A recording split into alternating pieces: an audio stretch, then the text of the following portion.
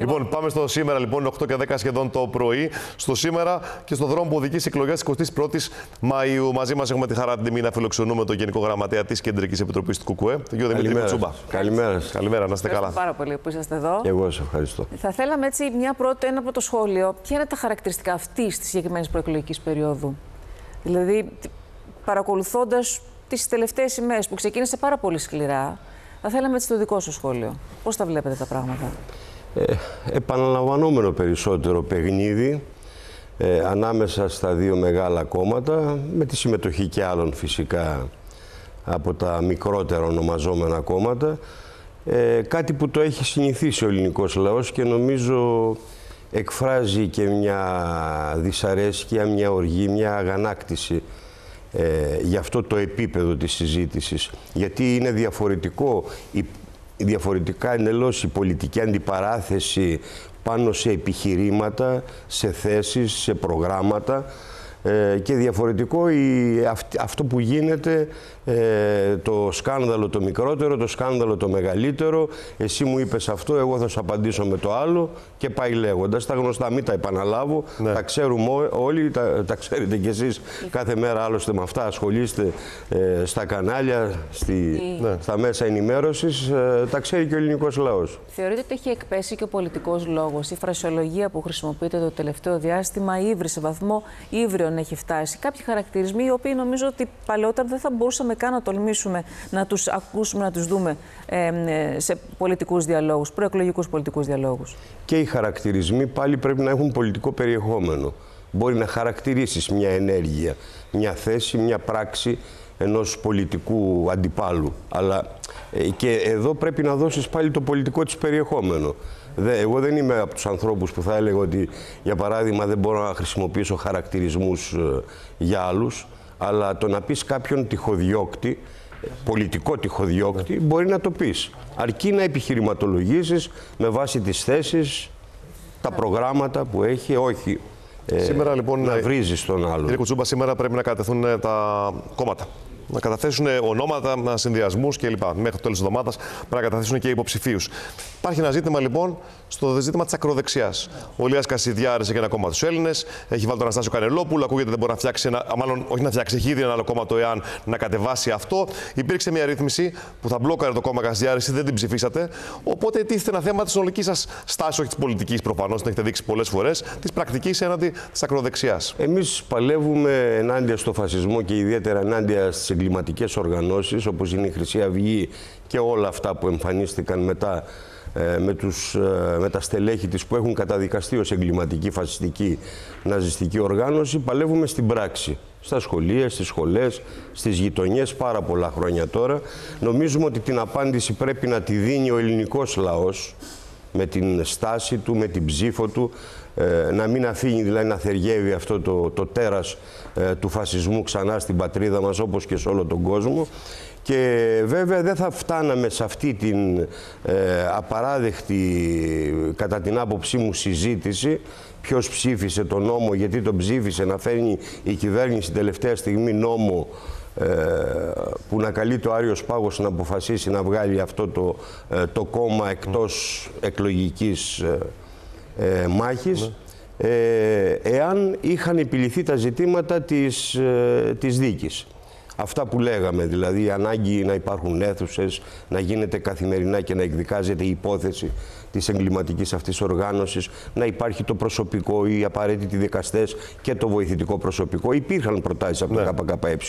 Όμως, τέσσερα, τεσσεράμιση χρόνια ο ΣΥΡΙΖΑ πριν και άλλα τέσσερα η Νέα Δημοκρατία, φτάσαμε στο σημείο παραμονές εκλογών να μην έχει τελεσιδικήσει ακόμα η απόφαση για τους εγκληματίες να ζει. Για τον Κασιδιάρη και για τους υπόλοιπους. Πάντως εσείς από ό,τι καταλαβαίνω είστε κατά την απαγορεύσεων. Αν θέλει ο Κασιδιάρης να κατέβει, να κατέβει λέτε. Οπότε εμείς λέμε ότι ο ελληνικός λαός πρέπει να αποφασίσει. Άκουσα χθες τον κύριο Λεβιζάτο. Φυσικά ο νόμος μπορεί να. Ο Άριος Πάγος είναι αρμόδιος πλέον, εφόσον είναι νόμος ναι. της Ελληνικής Βουλής του ελληνικού κράτους να αποφασίσει. Ο κύριο Λεβιζάτο, εδώ που μίλησε στον Γιώργο Κουβαράκη, είπε ότι για τη συγκεκριμένη τροπολογία, επειδή και εσείς ε, επιμένετε στο χαρακτηρισμό εγκληματική οργάνωση και όντως περί εγκληματική mm. οργάνωσης πρόκειται.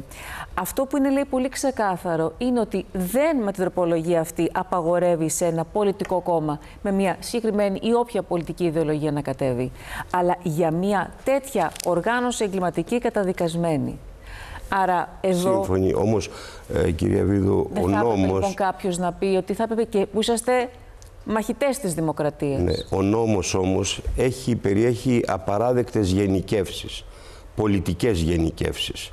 Που αφορά ευρύτερα και άλλα πολιτικά κόμματα, ιδεολογίες, ε, κλπ. Αυτό θα έπρεπε να σταματήσει. Και δεδομένου ότι η Ευρωπαϊκή Ένωση, για παράδειγμα, της οποίας μέλος ε, είναι και η χώρα μας, ε, έχει μιλήσει για την εξίσωση φασισμού-κομμουνισμού, για τους δύο ολοκληρωτισμούς δήθεν, για τα δύο άκρα και μιλάει, είναι επίσημη πολιτική της ναι. Ευρωπαϊκής Ένωσης και το βλέπουμε αυτό, για παράδειγμα, απαγόρευση κομμουνιστικών εργατικών κομμάτων σε, άλλα, σε άλλες χώρες κράτη μέλη της Ευρωπαϊκής Ένωσης, ε, είναι σοβαρό ζήτημα. Και το κάνουν κυρίως οι ανατολικές χώρες που έχουν ζήσει τον κομμουνισμό και. Μπορεί να μην αφορά την άλλα Ελλάδα. Όμως είναι μέλη, κράτη της Ευρωπαϊκής ναι. Ένωσης. Μπορεί αυτό να μην αφορά την Ελλάδα, αλλά δεν σημαίνει ότι εμένα δεν με ενδιαφέρει τι τραβά ο άνθρωπος εκεί που τον κυνηγάνε επειδή ε, δηλώνει ότι είναι κομμουνιστής, ότι ανήκει σε ένα κομμουνιστικό, σε ένα εργατικό κόμμα που έχει μια ριζοσπαστική, μια άλλη ιδεολογία από αυτούς που κυβερνάνε και που ανέτρεψαν τον σοσιαλισμό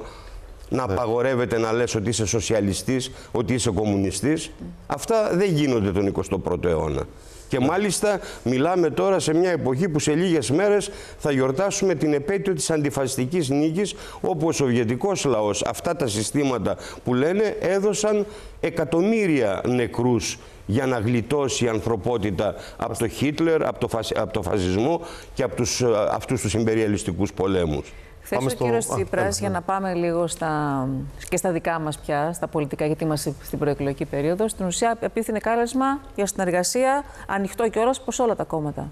Εσείς επιμένετε όχι και χαρακτηρίζετε μούφα αυτή την πρόταση. Γιατί; Ε, ναι, είναι μούφα. Η προοδευτική κυβέρνηση δίθεν του κυρίου Τσίπρα είναι μούφα. Και βεβαίως αυτό στηρίζεται και στην εμπειρία την ιστορική πλέον για την προηγούμενη τετραετία του κυρίου Τσίπρα ε, που θα άλλαζε τα πάντα, που δεν θα έφερνε μνημόνια, που δεν θα κάνει το ένα και το άλλο και τις διάφορες υποσχέσεις προεκλογικά. Και σε συνέχεια, όχι προοδευτική, όχι αριστερή, δεν ήταν αυτή η κυβέρνηση, αλλά ήταν όχι απλά μούφα, ήταν η χειρότερη κυβέρνηση και το χειρότερο μνημόνιο που έφερε όλων των εποχών.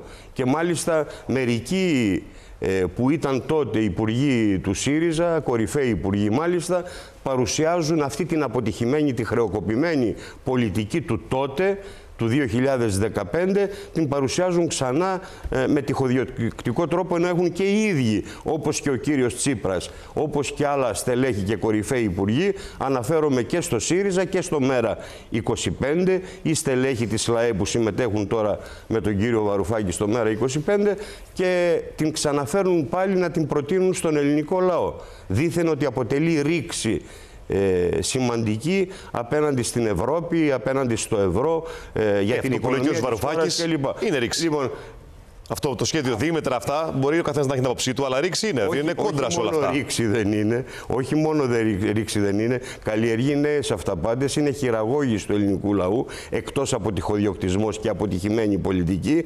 Δεν υπάρχει περίπτωση να υπάρξει ρήξη. Είναι το αντίστοιχο που έλεγε ο Τσίπρας και ο κύριος Βαρουφάκης ότι θα καταργήσει με ένα άρθρο τα προηγούμενα μνημόνια και μας έφερε ένα τρίτο μνημόνιο. Η πολιτική αυτή απλά θα φέρει πιο γρήγορα, όπως έγινε και τότε, νέα μνημόνια, νέα αντιλαϊκά μέτρα για τον ελληνικό λαό. Τότε γιατί λέτε το κάνει αυτό ο κύριος Βαρουφάκης; Όταν κάνουμε αυτές τις ερωτήσεις μας, μας, ε, μας προς Θεού, όχι προσωπικά εννοώ, μιλάει για προπαγάνδα. Ότι είναι κάτι που το έχει φέρει από το 20. Ότι δεν θέλει το κλείσιμο των τραπεζών, αλλά αν ποτέ χρειαστεί, θα υπάρχει αυτό το σύστημα έτοιμο. Πού θεωρείτε, mm. ποιος είναι ο στόχος του; Καταρχήν, δε, δε, ξαναλέω ότι δεν πρόκειται για ρήξη προτείνει στα πλαίσια του καπιταλιστικού συστήματος, στα πλαίσια της Ευρωπαϊκής Ένωσης, μια διαχείριση σε μια ενδεχόμενη οικονομική κρίση από προβλήματα που μπορεί να ε, έχουν οι συστημικές τράπεζες. Αυτό προτείνει. Αυτό μπορεί οποιοδήποτε στα πλαίσια του καπιταλισμού να το κάνει. Ρίξει όμως αυτή για παράδειγμα που λέει και μάχεται το ΚΚΕ απέναντι στην Ευρωπαϊκή Ένωση που δεν είναι Ευρωπαϊκή Ένωση των λαών, δεν είναι Ευρωπαϊκή Ένωση που λειτουργεί κατά την άποψή μας για τα συμφέροντα των λαών και έχει αποδειχθεί με το 99,9% των αποφάσεών της. Όπως η πρόσφατη για παράδειγμα, την οποία την ψήφισαν και η Νέα Δημοκρατία και ο ΣΥΡΙΖΑ και το ΠΑΣΟΚ. Λέω ότι είναι το πρόγραμμα της Ευρωπαϊκής Ένωσης Fit for 55 αυτό. Το οποίο αφορά είναι ένα πρόγραμμα το οποίο θα φέρει και νέες αυξήσεις ακρίβεια στα είδη πλατιάς λαϊκής κατανάλωσης. Πράσινη μετάβαση. Θα, θα, φέρει, θα φέρει, ναι, εκεί εντάσσεται, σε αυτό το πρόγραμμα ναι. εντάσσεται, εκεί είναι ενταγμένο.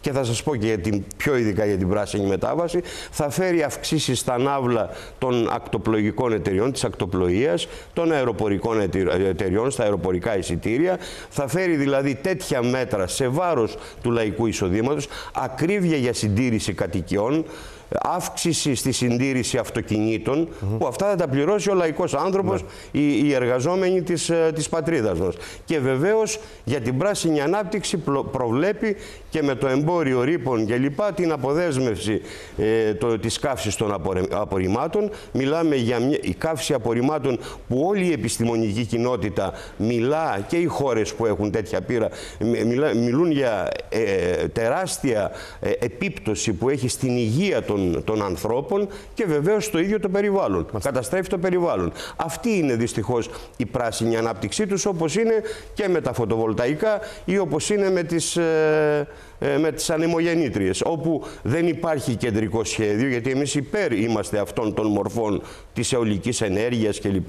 Αλίμονο και της πράσινης αυτής ανάπτυξης. Αλλά αυτό αν δεν γίνει και εξαρτάται με το ποιος έχει την ιδιοκτησία φυσικά, αν δεν γίνει με ένα κεντρικό επιστημονικό σχέδιο για το πού θα γίνει το αιωλικό πάρκο και όχι να, καταστρέφεται, να καταστρέφονται πανέμορφα δάση της πατρίδας μας ή ακόμα και θάλασσες ναι. ή και άλλοι τόποι, χωριά όμορφα ή να καταστρέφεται η αγροτική καλλιέργεια, η αγροτική παραγωγή σε καλλιεργήσιμες εκτάσεις ή εκεί όπου υπάρχει κτηνοτροφία για να μην μπορεί να επιβιώνει ο αγρότης, ο κτηνοτρόφος, ο Έλληνας και να παράγει ποιοτικά και ποσοτικά αρκετά και ποιοτικά προϊόντα για τον ελληνικό λαό.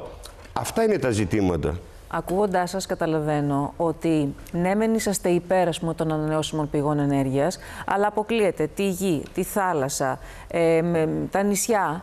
Πού θα μπορούσε ε, ε, όχι, να γίνει. βέβαια, δεν αποκλείουμε. Να γιατί στα άμα είναι να μείνουμε γίνει, σε αυτό που στα είμαστε, βουνά θα γίνει, τότε δεν πάμε μπροστά. Στα βουνά θα γίνει, αλλά όμως είναι διαφορετικό πράγμα να καταστρέφεις ένα πανέμορφο δάσος προστατευόμενο, γιατί αυτό γίνεται στην πράξη να δείτε στην πατρίδα μου, στη Φθιώτιδα που κινητοποιείται ο κόσμος, σε σημεία πανέμορφα της Σίτης ή ε, σε σημεία της Λοκρίδας όπου υπάρχει αγροτική καλλιέργεια. Βλέπεις την κοπαίδα, ε, καλλιεργήσιμες εκτάσεις και να, να στείνονται τα φωτοβολταϊκά. Δεν είπε κανείς, η ήλιο έχει η Ελλάδα και μπορεί να αξιοποιηθεί. Ε, αέρα έχει η Ελλάδα ανέμους. Αλλά υπάρχουν χώροι, αλλά αυτό αν δεν έχεις την ιδιοκτησία εσύ ως κοινωνία, να, να είναι κοινωνικοποιημένη η ιδιοκτησία και όχι να επαφίεται στο κάθε τυχάρπαστο δίθεν επενδυτή, καπιταλιστή, ο οποίος πάει όπου τον βολεύει γιατί μπορεί να ανοίξει δρόμους ε, ευκολότερα εκεί και να καταστρέφει δάση ή να καταστρέφει παραλίες ή να καταστρέφει πανέμορφα χωριά. Σε χωριό σε οικισμό έξω από τη Μαλαισίνα που ήμουνα σε περιοδία της προάλλες, έξω από την αυλή Μεγάλη αυλή βέβαια έχει ο άνθρωπος, αλλά το δικαιούται στο χωριό του να έχει το σπίτι του εκεί και να μένει και μένει μόνιμα. Δεν είναι εξοχική μόνο κατοικία εκεί. Αν και τα παιδιά του πηγαίνουν στην αυλή, βάλανε ανεμογεννήτρια. Και βέβαια έχουμε ήδη πείρα από άλλες χώρες αλλά και από εδώ. Όταν δεν πάει καλά ο ιδιώτης, ο επενδυτής, δεν του αρέσει, αφήνει το κουφάρι αυτό το τσιμεντένιο μέσα στο δάσος ή οπουδήποτε αλλού και πηγαίνει για άλλους τομείς της οικονομίας να επενδύσει και ναι. ποιος το παίρνει μετά. Επιστρέφουμε στο στούντιο. Είμαστε με τον Γενικό Γραμματέα του Κομμουνιστικού Κόμματος, τον κύριο Κουτσούμπα, και είπαμε ότι είναι έτσι η χαρά μας που κάνουμε αυτή τη συζήτηση. Και έχουμε μείνει σε μια ερώτηση, το οποία δεν είναι μόνο δική μας, νομίζω είναι ε, πολλών. Και έχει ρωτηθεί και ο κύριος Τσίπρας γι' αυτό. Του, του, από δημοσιογράφους. Λέει, αφού ο, ο Δημήτρης Κουτσούμπας λέει δεν παίρνουμε στην κυβέρνηση. Λέει άλλο τώρα, μετά τις εκλογές θα είναι αλλιώς. Θα, θα δύσκολα θα πει όχι σε μια προοπτική προοδευτικής διακυβέρνησης. Και χθες έβαλε και την παράμετρο της ψήφου ανοχή. Ναι. Ε, κοιτάξτε, εμείς δεν λέμε άλλα προεκλογικά και άλλα μετεκλογικά. εμείς καλούμε τον ελληνικό λαό, κοιτάζοντάς τον στα μάτια, καθαρά και εξάστερα, ε, να μας ψηφίσει και κριτήριο ψήφου να είναι και η θέση μας ότι δεν πρόκειται να στηρίξουμε, να μπούμε, να δείξουμε ανοχή σε καμιά τέτοια αντιλαϊκή κυβέρνηση, όποιο πρόσημο κι αν έχει. Είτε ονομάζεται προοδευτική, είτε ονομάζεται δημοκρατική, είτε ονομάζεται δίθεν ειδικού σκοπού και πάει λέγοντας. Αυτά τα έχουμε ξεκαθαρίσει. Και βεβαίως αυτή η θέση μας, η σταθερή, ε, στηρίζεται στο γεγονός ότι έχει ο ελληνικός λαός πείρα από την τετραετία του ΣΥΡΙΖΑ, έχει γνωρίσει τέτοιες κυβερνήσεις και βεβαίως από το γεγονός ότι κατά την τετραετία της Νέας Δημοκρατίας δεν ήταν αντιπολίτευση ουσιαστικά ο κύριος Τσίπρας απέναντι στην κυβέρνηση της Νέας Δημοκρατίας όσον αφορά τα μέτρα τα αντιλαϊκά που πήρε η κυβέρνηση αυτή αλλά ήταν ουσιαστικά συγκυβέρνηση. Το 50% των νομοσχεδίων τα ψήφισε ανάμεσά τους εμβληματικά νομοσχέδια στα οποία εμείς είχαμε αντιταχθεί και βεβαίως ο ελληνικός λαός με κινητοποιήσεις ε, αντέδρασε πάνω σε αυτά το Πασόκ επίσης το 70% των νομοσχεδίων της Νέας Δημοκρατίας το ψήφισε. Λοιπόν, από εκεί και πέρα και δεν μιλάμε για μερικά θετικά μέτρα, μικρά τροπολογίες που πέρασαν, τις οποίες τη στήριξε και το Κομμουνιστικό Κόμμα Ελλάδας. Μιλάμε τώρα συνολικά για την πολιτική ναι. αυτή. Και άρα αυτά τα κόμματα, η Νέα Δημοκρατία, ο ΣΥΡΙΖΑ, το ΠΑΣΟΚ, που έχουν κοινή στρατηγική πλεύση, ε, απέναντι στην Ευρωπαϊκή Ένωση, απέναντι στο ΝΑΤΟ, απέναντι στο Ταμείο Ανάκαμψης. Εμείς το λέμε νέο υπερμνημόνιο που φέρνει νέα ε, βάρη στον ελληνικό λαό μπορούν να κινηθούν σε αυτή την κατεύθυνση. Ακόμα και αυτή την προπαγάνδα και που έβγαινε στα κεραμίδια ο κύριος Τσίπρας δήθεν για τα ζητήματα της υγείας, της εμπορευματοποίησης, της ιδιωτικοποίησης τον ακούσαμε προχτές από την ΚΟ να λέει ότι βεβαίως ε, στις ε, περιοχές, στις νησιωτικές περιοχές, στις απομακρυσμένες περιοχές θα χρησιμοποιούνται ε, το ο ιδιωτικός τομέας, ναι. τα ιδιωτικά ιατρία, οι ιδιώτες γιατροί για να το απαντα... απαντήσει δικαιολογημένα βέβαια ο κύριος Μητσοτάκης αμέσως μετά ότι με αυτό το νόμο τον περάσαμε εμείς και εσείς τον καταψηφίσατε τώρα. Τι μας λέτε. Άρα λοιπόν έχουν κοινή γραμμή πλεύσης και βεβαίως την ώρα γίνονται αυτά, την ώρα που και στις νησιωτικές περιοχές και στις απομακρυσμένες περιοχές ιδιωτικοποιούνται τα πάντα, εμπορευματοποιούνται τα πάντα, υπάρχουν ελλείψεις σε γιατρούς, οι γιατροί το πολύ πολύ να είναι ε, είτε συμβασιούχοι ε, είτε ε, επικουρικοί, αυτό έχει γίνει νόμος πλέον. Προχτές ήμουνα στο Λαύριο και μιλάνε τώρα για απομακρυσμένες περιοχές που θα έπρεπε να βάλουν οικονομικά και ε, επιστημονικά κριτήρια για να στελεχώσουν εκεί τις δομές υγείας, τα κέντρα υγείας, τα νοσοκομεία ε, κλπ. Αλλά τώρα τι μας λένε για απομακρυσμένες περιοχές. Στο Λαύριο ήμουνα προχτές που σας έλεγα και το κέντρο υγείας εκεί ε, είναι υποστελεχωμένο. Λείπουν γιατροί. Ο ένας επικουρικός γιατρός μάλιστα εκεί πολλά χρόνια τώρα, πάνω από 10 χρόνια, βρίσκει βρίσκεται εκεί στα επίγοντα, να δουλεύει ε, συνεχώς από το πρωί μέχρι το βράδυ με μακρινές αποστάσεις και να πληρώνει από την τσέπη του. Έλεος πια. Ναι. Άρα κοινή γραμμή πλεύσης είναι. Πρέπει να σας διακόψουμε για ένα λεπτό, και κύριε Θα καταλάβω ότι είναι σημαντικός ο λόγος για τον οποίο σας διακόπτουμε. Ναι, γιατί έχουμε στη τηλεφωνική γραμμή την Τίνα Τσουκαλά. Ποια είναι η εξέλιξη, ε, είχαμε και συζήτηση νωρίτερα, κύριε ε, Κουτσούμπα, για τον ε, Ηλία Κασιδιάρη. Έλα, Ντίνα την πρόθεσή του να κατέβει στις εκλογές, ε, τις βουλευτικές εκλογές, ανακοίνωσε ο Ηλίας Κασιλιάρης ε, με δελτίο τύπου που έστειλε ε, μέσω της δικηγόρου του. Λέει λοιπόν ότι θα είναι υποψήφιος στην πρώτη Αθηνών με το Εθνικό Κόμμα Έλληνες και πρόεδρο τον καθηγητή της Στρατιωτικής Σχολής Ευελπίδων ταξίαρχο Δημήτρη Χατζηλιάδη. Μετά την τροπολογία που ψηφίστηκε στη Βουλή αλλά και την αναβίωση του κόμματος του ε, Αναστάσιου Κανελόπουλου, ο κύριος ο Ηλίας Καστιλιάρης φαίνεται ότι επανέρχεται στο, ε, στην απόφασή του να κατέβει με το κόμμα Έλληνες, υποστηρίζοντας μάλιστα, ταυτίζοντας μάλιστα τη δημοκρατία με το κόμμα αυτό, όπως λέει η δημοκρατία που εκπροσωπείται από, από το Εθνικό Κόμμα Έλληνες και δηλώνει αποφασισμένος να φτάσει μέχρι τέλους. Υποστηρίζει ότι ε, όποιος κυρίορκο κυβερνητικός ή διοικητικός παράγοντας επιχειρήσει να στερήσει παράνομα τα πολιτικά δικαιώματα μισού εκατομμυρίου Ελλήνων, ε, που θεωρεί ότι θα τον ψηφίσουν, θα διαπράξει το κακούργημα της εσχάτη προδοσίας που τιμωρείται με ισόβια. Ε, υποστηρίζει δε ότι ε, ο αγώνας αυτός εκτιμά ότι θα είναι νυχτηφόρο. Ε, όλα φαίνεται ότι θα κρυφθούν πλέον στο στο ποινικό τμήμα, το, ε, στο τμήμα του Αρίου Πάγου, το οποίο θα αποφασίσει ε, για, για το ποια κόμματα μπορούν ή όχι να κατέβουν. Σύμφωνα με την, ε, με την ανακοίνωση και του Αναστάσιου Κανελόπουλου, με την δήλωση αναβίωσης του κόμματός του, φαίνεται ότι θα κατέβει και το κόμμα ΕΑΝ του κυρίου Κανελόπουλου στις προσεχείς εκλογές. Άρα, Ντίνα, συγγνώμη, για να συνοψίσουμε. Έχουμε λοιπόν με βάση αυτές τις ανακοινώσεις δύο ακροδεξιά κόμματα που δηλώνουν τουλάχιστον κατέβουν. Θα δούμε θα πει ο Άριος Πάγος. Το ένα είναι του ε, Κασιδιάρη, το, το, οι Έλληνες, με το Κασιδιάρη υποψήφιο μέσα από τις φυλακές Δομοκού και αρχηγό έναν ε, βετεράνο ταξίαρχο. Το άλλο είναι το ΕΑΝ, πώς λέγεται, ε, άλλο ακροδεξιό κόμμα, με επικεφαλής του Κανελόπουλο που ήταν στο ΕΑΝ, πήγε στους Έλληνες και ξαναγύρισε στο ΕΑΝ. Ναι, ξαναγύρισες. Ε, επαναλειτουργεί το κόμμα του ΕΑΝ και ο Ηλίας Κασιδιάρης ε, αλλάζει αρχηγό βάζοντας ναι. τον καθηγητή της στρατιωτικής σχολής, τον κύριο Χατζηλιάδη, να αναλάβει την ηγεσία του κόμματός του και τον ίδιο υποψήφιο ναι. στην πρώτη Αθηνών. Φέρνοντας, ε, αντιλαμβανόμενος βεβαίως το νομικό πρόβλημα που υπάρχει, γι' αυτό λέει ότι θα εξαντλήσει όλα τα μέσα και απειλεί, αν μου επιτρέπεις και με μήνυση για εσκάτη προδοσία, εάν κοπεί το κόμμα του από τον Άριο Πάγο. Ναι. Και το λέει αυτό η για την τροπολογία. Σε ευχαριστούμε πάρα πολύ Ντίνα, για το ρεπορτάζ. Γιατί κύριε Κουτσούμπετ είναι σαφές μέσα. Όποιος είναι καταδικασμένος δεν μπορεί να κατέβει. Άρα τι κίνηση είναι αυτή, μπορείτε να την ψυχολογήσετε. Πολιτικά εννοώ. Πολιτικά νομίζω πρέπει να βγάλουμε και ορισμένα συμπεράσματα γενικότερα. Κυρίως ο ελληνικός λαός, δεν θα έλεγα τόσο τα πολιτικά κόμματα, αν και αυτά πρέπει να βγάλουν συμπεράσματα.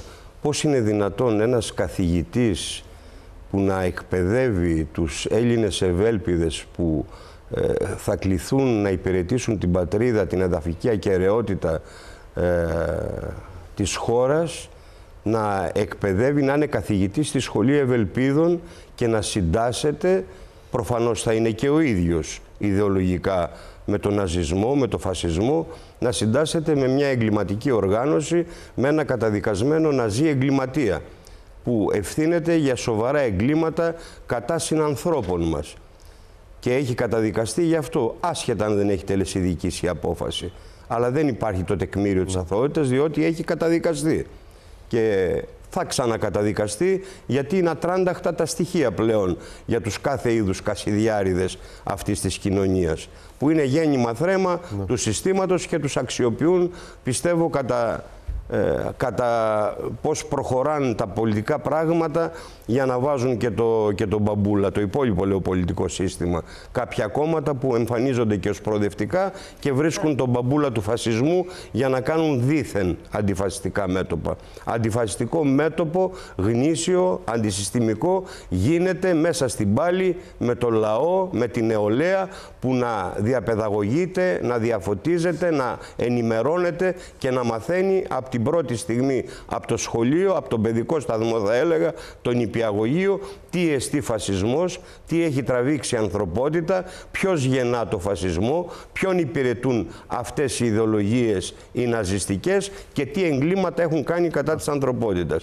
Και εκεί να χτίζεται πραγματικά ένα τείχος προστασίας απέναντι σε αυτά τα ρατσιστικά, φασιστικά, εθνικιστικά, οτιδήποτε ακροδεξιά φαινόμενα που παρουσιάζονται και στην ελληνική κοινωνία, σε όλη την Ευρώπη και σε όλο τον κόσμο. Έχετε αποκλείσει για να επιστρέψετε. Θες να συνεχίσεις αυτό; Πάμε στα εκλογικά. Νομίζω αρκετή αξία δώσαμε Κασιδιάρη τώρα. Αποκλείσατε εντελώς τη συνεργασία με, με τον κύριο Τσίπρα, στην οποία μπορεί να είναι ο κύριος Βαρουφάκης ή οτιδήποτε άλλο. Όμω ήσασταν πάρα πολύ σαφή. Σας έχω ακούσει να λέτε όμως, επειδή και νωρίτερα εδώ σε εμάς μιλήσατε για κοινή γραμμή πλεύσης μεταξύ Νέας Δημοκρατίας και ΣΥΡΙΖΑ. Τι μπορεί αυτό να σημαίνει, Έχετε κι εσείς ενδεχομένως στο βάθος μία συνεργασία μεταξύ των δύο, αν χρειαστεί; Όχι, η ανάλυση μας αυτή, η εκτίμηση προκύπτει από την ε, μελέτη των προγραμμάτων και των θέσεών τους και την πρακτική αυτών των κομμάτων που και τα δύο έχουν κυβερνήσει. ε, τη χώρα. Και μπορεί βεβαίως να μην είναι ίδια κόμματα, αλλήμωνο δεν λέμε αυτό. Αλλιώς θα ήταν ένα κόμμα, δεν θα ήταν δύο κόμματα. Έχουν διαφορές, επιμέρους, αλλά στα βασικά, στα κεντρικά ζητήματα είναι στην ίδια κατεύθυνση. Ε, μπορεί να μην υπάρχουν σήμερα οι δυνατότητες λόγω αυτού του τοξικού κλίματος και της αντιπαράθεσης ε, που συμβαίνει ακόμα, όπως συνέβαινε παλιότερα, όπως θυμόμαστε όλοι, οι παλιότεροι τουλάχιστον, με το Πασόκ και τη Νέα Δημοκρατία, που λέγαν να μου κοπεί το χέρι αν συνεργαστώ εγώ, έλεγε το Πασόκ με τη Νέα Δημοκρατία, με τη δεξιά. Ποτέ η δεξιά να μην ξανάρθει. Και βέβαια τους είδαμε να συγκυβερνούν μια χαρά. Και βεβαίως, δεν... και βεβαίως δεν τα λέμε μόνο εμείς αυτά.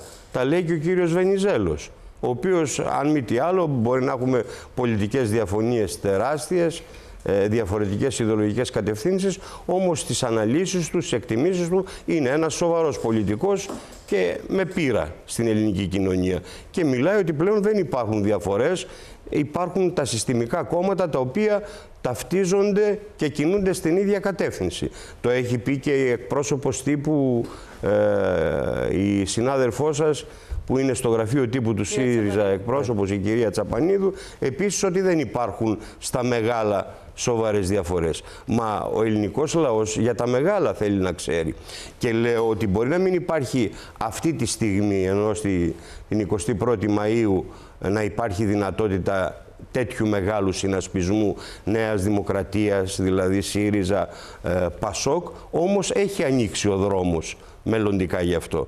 Αλλά ε, μικρότερες συνεργασίες ανάμεσα σε αυτά τα κόμματα, ανάλογα Νέα Δημοκρατία, Πασόκ επίσης ε, και λοιπά, ή με τμήμα του ΣΥΡΙΖΑ ή με άλλα κόμματα μικρότερα μπορεί να γίνουν.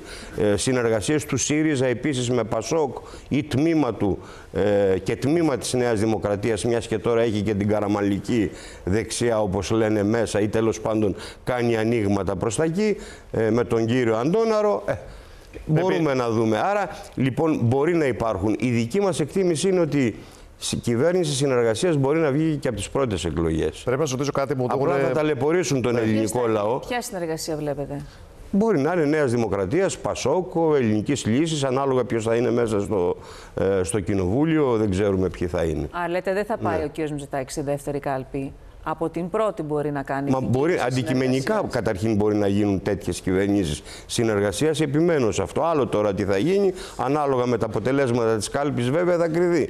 Όμως και τη δεύτερη εκλογή θα σας πω μια εκτίμηση τώρα, μένει φυσικά να επαληθευτεί ναι. στην πράξη και στις δεύτερες εκλογές, οι οποίες θα είναι άλλες εκλογές, με άλλο εκλογικό νόμο, δεν είναι δεύτερης ακριβώς, γιατί εμφανίζεται σαν να είναι πρώτος γύρος, δεύτερος γύρος. Δεν είναι έτσι, είναι προκήρυξη νέων εκλογών, ε, σε άλλη ημερομηνία, με άλλο εκλογικό νόμο, με άλλες προϋποθέσεις και με άλλα δεδομένα ε, εκείνες οι εκλογές. Άρα λοιπόν και θα γίνουν μόνο γιατί θέλουν τα δύο πρώτα κόμματα, αυτά που θα επιλέξει ο λαός να είναι πρώτο και δεύτερο την 21η Μαΐου, να υφαρπάξουν, να υποκλέψουν, πέστε το όπως θέλετε, ψήφους από όλα τα μικρότερα κόμματα για να δυναμώσουν. Αλλά κάπως πρέπει να κυβερνηθεί ο τόπο τέλος. Και, και δηλαδή, τον πόνους. Στο τέλος της ημέρας πρέπει να υπάρχει κυβέρνηση και πρωθυπουργός. Το ΚΚΕ λέει: Εγώ δεν μπαίνω σε καμία κυβέρνηση. Εγώ, ε, το ΚΚΕ λέει αυτό, αλλά ναι. το, το, θέμα είναι ότι υπάρχει αντικειμενική δυνατότητα. Το ΚΚΕ το λέει αυτό καθαρά, κύριε ναι. Παπακλημίντζο, γιατί έχει καθαρή θέση απέναντι σε τέτοιες κυβερνήσεις αστικές, ναι. αντιλαϊκές. Καθαρή είναι μεν, το λέει, δεν και το λέει προεκλογικά. Μα γιατί υπάρχουν τόσα κόμματα. Εγώ, λέω, εγώ λέω ότι μια χαρά μπορεί να κυβερνηθεί ο τόπος με, με αυτά τα κόμματα. Δεν το καταλάβατε αυτό τόση ώρα τι προσπαθώ να σας εξηγήσω. Αν μας εξηγείτε να ψηφίσουμε κάποιο άλλο κόμμα, εγώ δεν, κατάλαβα αυτό. Δεν καταλαβαίνετε. Όχι. Ο ελληνικός λαός δεν έχει αυτό το δίλημα σήμερα. Ναι. Γιατί ξέρει ότι θα κυβερνηθεί η χώρα. Γιατί μήπως δεν ναι. κυβερνήθηκε το 2012 και με δεύτερες εκλογές. Ναι. Πάλι κανένας δεν πήρε την πλειοψηφία.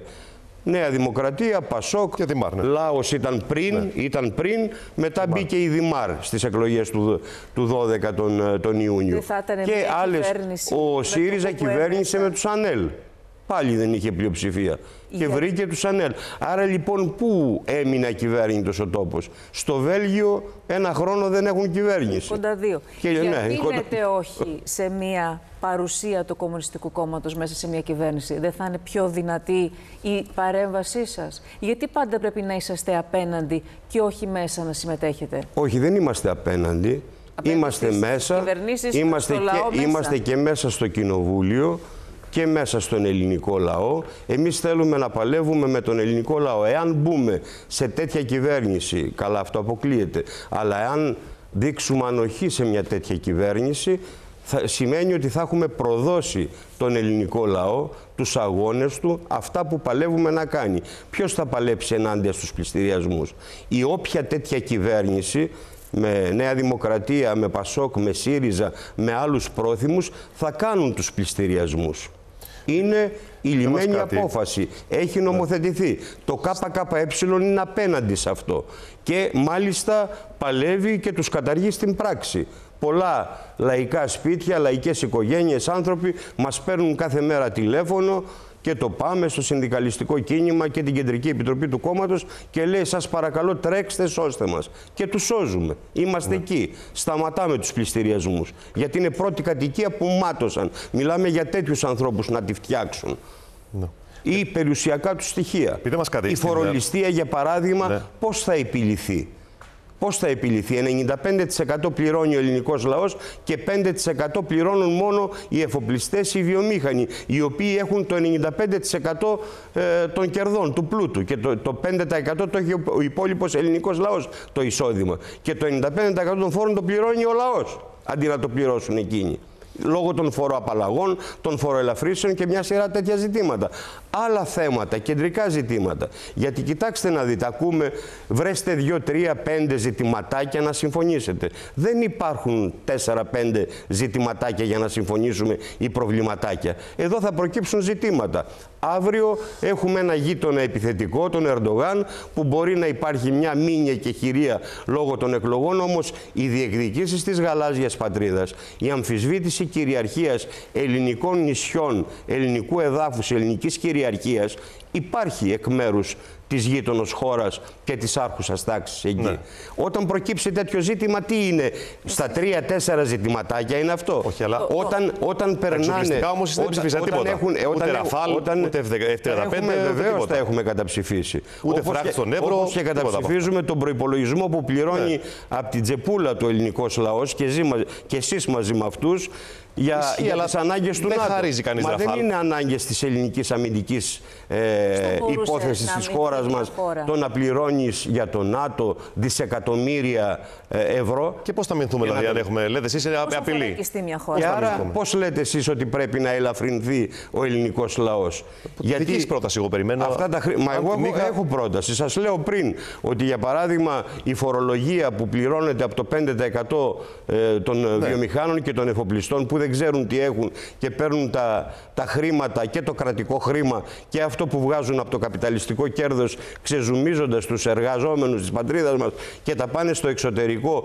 ή τα χρησιμοποιούν για να κάνουν νέες επενδύσεις αλλού σε πιο κερδοφόρους τομείς, γιατί να μην τα πάρουν από εκεί; Να θα τα πάρουν για να πληρώσουν τα ραφάλ συνέχεια όμως. Αυτό δεν να καταλήξω. Θα υπάρχουν εξοπλιστικά προγράμματα. Για, το σήμερα που μου λέτε. Ναι. Γιατί εμείς έχουμε Εγώ μια συνολική πρόταση. Χρειάζεται, χρειάζεται όλα. Γι' αυτό λέμε ότι χρειάζεται. Βεβαίως. Γιατί χρειάζεται να αλλάξεις άρδιν ριζικά μια σειρά πράγματα και στο κράτος και στο πολιτικό σύστημα και στην κοινωνία κλπ. Μια ερώτηση μόνο για την άμα μένεις, άμα μένεις, αυτά, τότε θα δίνεις καινούριες, καινούριες βάσεις στους Αμερικάνους, θα αλωνίζουν εδώ, από την Αλεξανδρούπολη στη Σούδα μέχρι τον Εύρο, θα γίνεται η Ελλάδα στόχος αντιπίνων, γιατί αν πάμε ε, σε πολεμικές εμπλοκές που από ό,τι φαίνεται κλιμακώνονται, γιατί είναι πόλεμος ΝΑΤΟ-Ρωσίας αυτή τη στιγμή.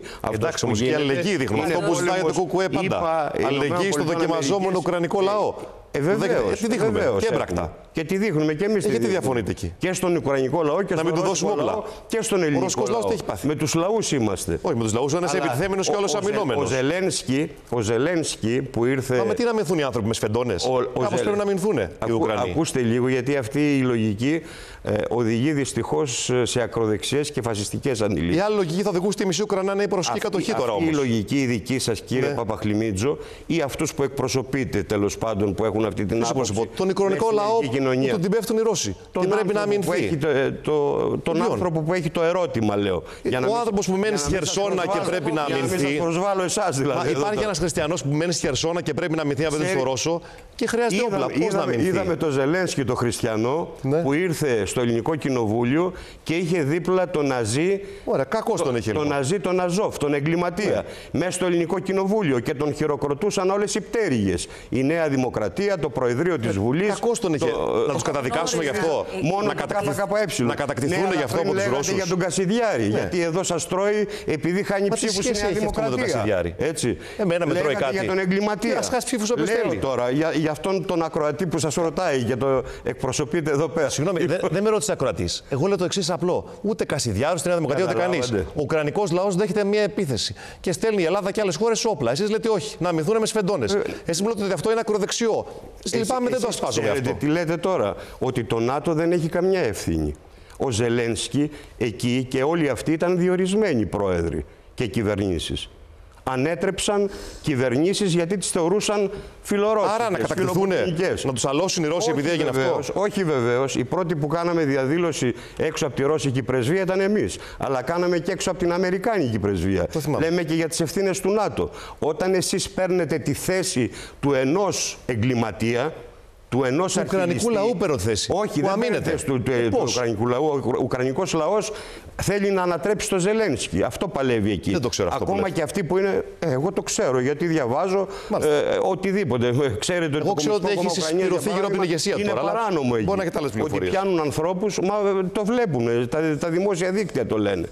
Όχι μόνο αυτά που βλέπουν μονόπλευρα και παρουσιάζουν μόνο το Ζελένσκι επειδή παίρνει τηλέφωνο η Αμερικάνικη πρεσβεία και τα ξέρετε πολύ καλά τι συμβαίνει. Όπως τα ξέρουμε κι εμείς Εγώ για αυτό θα που σας ήθελα λέω. λίγο έτσι, αν και είναι πολύ ενδιαφέρουσα η συζήτηση. Μια και Ναι, είναι αναφερθήκατε- ζωντανή η συζήτηση. Είναι πολύ ωραία. πάρα Έτσι πολύ πρέπει να ενδιαφέρουσα, γίνεται. Πάντα είναι. Ε, επειδή αναφερθήκατε και στα ελληνοτουρκικά και ο Κώστας είπε για το φράχτη. Ε, επειδή είπατε τα υπόλοιπα δεν θέλετε να πληρώσει ο Έλληνας φορολογούμενος. Γίνεται μια προσπάθεια αυτά να έρθουν μέσω ευρωπαϊκών κονδύλιων, ο φράχτης στον ευρώ. Και εσείς είσαστε όπως ο ΣΥΡΙΖΑ κατά αυτής της λύσης. Είναι μία λύση σε ένα σύνολο. Και εσείς λέτε όχι σε αυτό. Εμείς λέμε το εξής, ότι δεν μπορεί να βάλεις αυτούς που δημιούργησαν το πρόβλημα και συνεχίσουν να έχουν το πρόβλημα, όπως είναι για παράδειγμα με την απόφαση του Δουβλίνου και είναι σε ισχύ ακόμα η συνθήκη αυτή, όπως είναι για παράδειγμα η κοινή ε, δήλωση, συμφωνία Ευρωπαϊκής Ένωσης Τουρκίας, η οποία είναι απαράδεκτη και την συντηρεί και η ελληνική κυβέρνηση τόσα χρόνια και η οποία Έχει δημιουργεί, εφαρμοστεί δημιουργεί ποτέ. αυτό το προσφυγικό ε, Νομίζω ότι κύμα είναι στα και την χαρτιά. πίεση από τη μεριά από τα τουρκικά παράλληλα προ, προς την Ελλάδα. Γιατί οι πρόσφυγες είναι άνθρωποι που διώκονται από τις χώρες τους γιατί έχουν πολέμους, γιατί έχουν φτώχεια, γιατί έχουν δυστυχία και πάνε να βρούνε καλύτερη μοίρα στην Ευρώπη. Θέλουν να μπουν στην Ευρώπη. Το ότι η Ελλάδα είναι στα σύνορα εδώ με την Ασία ή με την Αφρική είναι λογικό να έρχονται πρώτα στην Ελλάδα για παράδειγμα ή στις χώρες που είναι στη Μεσόγειο. Εμείς έχουμε κάνει προτάσεις συγκεκριμένες. Για παράδειγμα, εφόσον υπάρχει η κοινή συμφωνία Ευρωπαϊκής Ένωσης Τουρκίας, εφόσον υπάρχουν και θέλουν τέτοια ζητήματα να επιλύονται, αυτά τα θέματα των χαρτιών, των προσφύγων που χρειάζεται να δουν αν- ποιοι θέλουν και που θέλουν να πάνε, να λύνονται στο έδαφος το τουρκικό. Εκεί να φτιάξουν τα συνεργεία, ε, τις επιτροπές, είδατε η ότι- Ευρωπαϊκή Ένωση στη συνεννόηση με την Τουρκία και να επιλύονται. Και όποιος είναι να πάρει το διαβατήριό του, ε, την άδεια να πάει στη Γερμανία επειδή θέλει να συνδεθεί η οικογένειά του εκεί, να πηγαίνει Αυτό και να θα μην ήτανε ταλαιπωρείται. καλά. Να μην ταλαιπωρείται σε μόριες, να μην ταλαιπωρείται σε στρατόπεδα ουσιαστικά συγκέντρωσης, να μην ταλαιπωρείται ανεβαίνοντας και κατεβαίνοντας ε, φράχτες ή μπαίνοντας μέσα σε ναρκοπαίδια. Έλεος πια. 21ος αιώνας είναι. Και με αυτή τη λογική θα πρέπει να σκεφτόμαστε. Με αυτή τη λογική πρέπει να σκέφτονται και όλοι οι Έλληνες εργαζόμενοι, οι Έλληνες πολίτες. Κουτσούμπα, ε, Δεν μπορεί να θέλω μένουμε να- σε προηγούμενες στο μεσαίωνα. Ωραία, θέλω και να για αυτά προλάβω τα να σας ζητήματα. κάνω μια, μια ερώτηση για να μας πιέζει ο χρόνος που μου έχουν ζητήσει να είμαι ειλικρινής φίλοι από το ΣΥΡΙΖΑ να σας την κάνω. Δεν είναι στην πολιτική ε, επικαιρότητα, αλλά Έχετε μου και λένε. φίλους από το ΣΥΡΙΖΑ. Έχω από όλους του πολιτικούς χώρους φίλου Γιατί το εκτός λέτε από την αυτό; ακροδεξιά. Τι, τι, τι Λοιπόν, εικόνα έχει στον κόσμο; δεν προς ξέρω, τα έξω; ρε παιδί μου. Όχι στον κόσμο. Εγώ έχω ακούσει από Ναι. από το ΣΥΡΙΖΑ. Λοιπόν, πάμε λοιπόν να, στ- να, θες- να στο θέσει το, το ερώτημα. Είναι, αναφορά τα δικαιώματα. Μου λέει ότι λένε, πιστεύουν λέει, ότι το ΚΚΕ το έχει το μονοπόλιο της αριστεράς. Δεν είναι έτσι και να το πούμε λοιπόν τον κύριο Κουτσούπα στο θέμα των δικαιωμάτων. Για παράδειγμα, στα ομόφυλα ζευγάρια ο ΣΥΡΙΖΑ λέει και τεκνοθεσία, λέει και γάμο, λέει στα δικαιώματα. Το ΚΚΕ λέει όχι σε όλα αυτά. Ναι, το ΚΚΕ έχει θέσει σε όλα αυτά και ούτε λέει όχι, ούτε λέει ναι αυτά που λέει ο ΣΥΡΙΖΑ. Γιατί ο ΣΥΡΙΖΑ προεκλογικά εμπέζει όλους τους ανθρώπους μας, τους συνανθρώπους μας και αυτούς τους ανθρώπους που έχουν ένα συγκεκριμένο σεξουαλικό προσανατολισμό που είναι δικαίωμά τους. Και το Κομμουνιστικό Κόμμα Ελλάδας είναι ενάντια στο ρατσισμό, είναι ενάντια στην αποξένωση, είναι ενάντια στην καταπίεση, είναι ενάντια στις διακρίσεις. Μάλιστα, είμαστε το μόνο κόμμα, ο ΣΥΡΙΖΑ δεν το ψήφισε, που ζητήσαμε αυστηροποίηση των ποινών για διακρίσεις, για bullying, για καταπίεση τέτοιων ε, ανθρώπων Σε με γάμο βάση και τεκνοθεσία το όμως, σεξουαλικό προσανατολισμό. είστε όχι. Κοιτάξτε να δείτε, για το γάμο, εμείς ε, έχουμε την εξής ε, άποψη, η οποία εδράζεται στην θεωρητική μας ε, κοσμοαντίληψη γύρω από τη σχέση των ανθρώπων. Εμείς μιλάμε για μια ισότιμη ε, ανθρώπινη σχέση, για μια ισότιμη ελεύθερη σχέση, μακριά από οικονομικές εξαρτήσεις και καταναγκασμούς και δυστυχώς αυτό το σύστημα ο γάμος με όποια μορφή, πολιτικός, Ούτε τα θρησκευτικός σύμφωνα- ή σύμφωνο συμβίωσης, μα γάμος Συμβίωσης είναι. σας αφορούν. Δεν έχει σημασία, είτε πολιτικός γάμος είτε σύμφωνο συμβίωσης, είναι μια μορφή οικονομικής σχέσης. Εμείς θεωρούμε ότι η ισότιμη ελεύθερη σχέση πρέπει να γίνεται μακριά από οικονομικούς και κοινωνικούς καταναγκασμούς. έτσι δεν αποκλείεται και, κόσμο. Και εμείς, και εμείς, όχι δεν αποκλείουμε, γιατί Κάποιος ο είναι οποίος διαφορετικό ζήτημα νιώθει όταν ότι ισχύει ενδεχομένως και κάποιος προδίδεται. ε- Θα σας πω επιλέγει, τη- να, τη επιλέγει σκέψη να μου. παντρευτεί, Θα σας πω το τη κάνει. σκέψη μου. Που είναι, πιστεύει στο κουκουέ, ενώ ιδεολογικά είναι στο κουκουέ. Άμα όμως και έχει το συγκεκριμένο σεξουαλικό προσανατολισμό, νιώθει ότι τον αποκλείεται. Γιατί να τον αποκλείσετε από κάτι τέτοιο όταν θέλει να ζήσει με τον ή τη σύντροφό του, να θέλει να, να υπογράψουν ένα σύμφωνο, να έχουν μια κοινή πορεία, είτε ευλογημένη από το Θεό, είτε ακόμα και το οικονομικό το μεταξύ τους κομμάτι να διευθετηθεί. Γιατί τους αποκλείεται; Είμαστε πολύ προχωρημένοι, λέτε. Διότι α, σε αυτή την περίπτωση, εμείς πρέπει να ξέρετε, γιατί δεν το ξέρετε προφανώς, αν και το έχω πει σε εκπομπές αρκετά το τελευταίο διάστημα, έχουμε καταψηφίσει και το σύμφωνο συμβίωσης για ετεροφιλόφιλους. Ναι. Το Για θυμόμαστε. αυτή τη μορφή σχέσης οικονομικής μιλάμε. Τα ζητήματα της ελεύθερης ισότιμης συμβίωσης είτε του ετεροφιλόφιλου είτε του ομοφιλόφιλου ζευγαριού μπορούν να επιλύονται και με άλλες νομοθετικές ρυθμίσεις. Όπως είναι τα κληρονομικά, γιατί αυτό μου λέτε, όπως είναι ζητήματα υγείας, αυτά που αφορούν ζητήματα μιας ισότιμης συμβίωσης. Άσχετα από ποιο σεξουαλικό προσανατολισμό έχει ο κάθε άνθρωπος.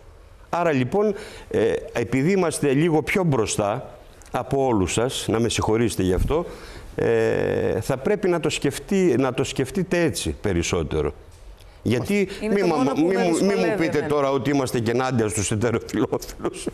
Έλεος δηλαδή. Ούτε Εμείς σας ενάντια λέμε στο- τίποτα. Άρα, λοιπόν, Ερωτήματα θέτουμε. άρα λοιπόν δεν είναι το κριτήριο. Όχι, απαντάω στο ναι. ερώτημα γιατί είπε και άποψη έτσι όπως δομείται από την σκέψη κάποιων ανθρώπων Ναι. Σωστό. που το λένε ως ερώτημα. Σωστό. Αυτό εννοώ. Όταν απευθύνομαι σε εσάς, απευθύνομαι σε αυτό που εκπροσωπείτε από το λαό που έχει κάποια ερωτήματα κλπ. Για να μην παρεξηγούμαστε δηλαδή, γιατί έκανε και το παρεξηγούμαστε, μην σχόλιο ανησυχείτε. πριν. Προσωπικά δεν παίρνουμε τίποτα εμείς. Ωραία. Για άλλη μια Ε. φορά θέλουμε να σας ευχαριστήσουμε που ήσασταν σήμερα εδώ για όλο αυτό. Νομίζω καλύψαμε τα πάντα. Ε, πολλά. Τα Α, πάντα ήθελες είναι να πεις δύσκολα. κάτι Ε, για τη διακομματική πάρα πολλά. σήμερα. Τι Α, Α, θέλεις διακομματική, να πεις; συγγνώμη, είναι ξέχασα να ρωτήσω. Αν θα, τι τι θέση θα πάρετε για τον debate στη δικοματική, με τι θέση θα Εμείς προσέλθετε; θεωρούμε ότι πρέπει να συμμετέχουν όλοι. Όλοι. Είναι μια ιστορία που επαναλαμβάνεται και δυστυχώς προκαλεί, νόημα. προκαλεί ε, για να μην πω είναι κομικό το γεγονός τελικά, όταν κόμματα βρίσκονται και είναι της τάξης του 5% όπως ήταν ο ΣΥΡΙΖΑ πριν ε, ζητάνε υποχρεωτικά όλοι και όχι μόνο οι δύο πρώτοι, όταν βρίσκονται στη θέση αξιωματικής αντιπολίτευσης ζητάνε μόνο τους δύο πρώτους. Ε, κάπου καταντά και γελιότητα. Αυτό για να μην πω Άρα ότι είναι συμφωνείτε. απαράδεκτο και δημιουργεί ε, αγανάκτηση και στο λαό που μας ακούει. Έχει νόημα, βγάζει τίποτα από τα debate, βγαίνει τίποτα.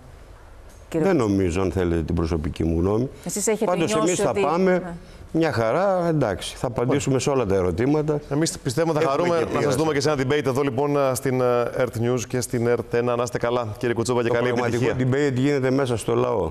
Στις Ωραία. περιοδίες, Ωραία. στις συζητήσεις Το και, οποίο στους, και- και στους αγώνες Γιατί εκεί θα είμαστε και εκεί θέλουμε να πρωταγωνιστήσουμε. Γιατί ένα πολύ πιο δυνατό ΚΚΕ στη Βουλή, όπως και παντού, θα κάνει πολύ πιο δυνατό το λαό. Γιατί έρχονται δύσκολα. Δεν περάσαμε τα δύσκολα, είναι μπροστά μας για το λαό τα δύσκολα.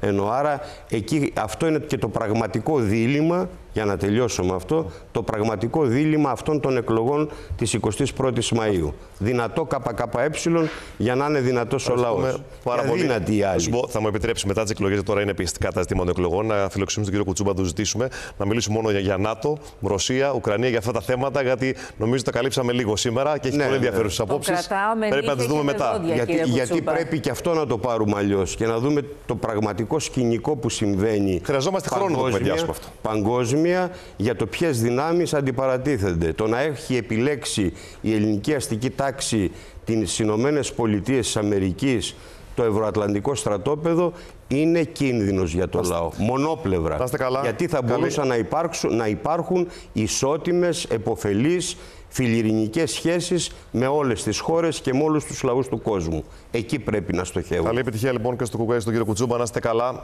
Καλή δύναμη και σε εσάς και σε όλα τα μέλη του κόμματός σας. Ευχαριστούμε πολύ που Καλά ήσασταν και σήμερα συνέχεια. εδώ.